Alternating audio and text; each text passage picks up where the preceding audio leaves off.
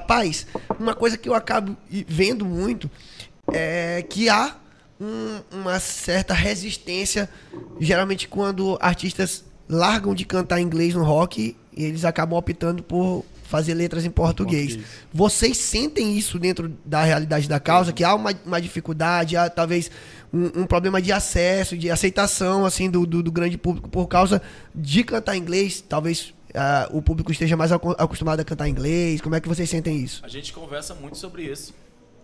É, vamos para os pontos positivos né, do inglês. O inglês é melodioso, né? A gente sabe que né, ele é uma língua melodiosa e tudo.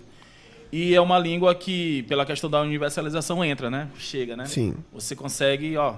A gente vê muitas bandas aí que a gente tem como referência que cantam inglês e que, ó, rapidinho consegue expandir, É. consegue são escutados lá fora. Mas a opção por cantar em português, primeiro foi a dificuldade mesmo da língua. Eu não tenho domínio da, da língua Isso. inglesa, não, não- Posso até dar uma enroladinha ali, mas é Mas enrolation vocês já tiveram mesmo, música em inglês? né? Não, não. Não, nunca, Não, não, sempre- Nunca nem passou pela É. minha Ah, cabeça tá, entendi. Nu- Nunca foi Mas ideia da banda. a não. gente parou pra pensar sobre assim, a questão de, de acessos que realmente existe, isso daí que tu tá falando. Só que pra mim nunca foi um entrave.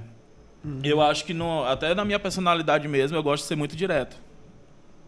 E a gente a- pode existir um queijo de subliminar nas letras, mas é bem sutil. Eu sou direto mesmo, entendeu? Sim. E aí, a, quem, quem é até um pouco mais subliminar nas letras acaba sendo o Valmir Neto. Isso. Ele um pouco mais comedido, mas passando, a, passando o papo, né, É. dele, né?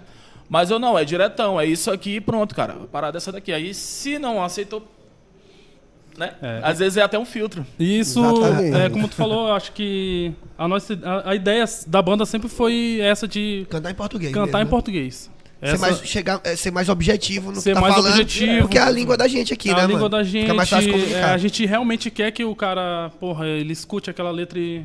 Não só pela melodia, mas faça- pela letra também. Pela letra, aquilo faça sentido pra ele de alguma forma, entendeu? Foi uma opção até de modelagem de vocal. De, Também. de não deixar o meu vocal muito extremo para que as pessoas escutem. E que diferentes pessoas escutem. Tu acha que no inglês ia Ah, ficar mais. Claro.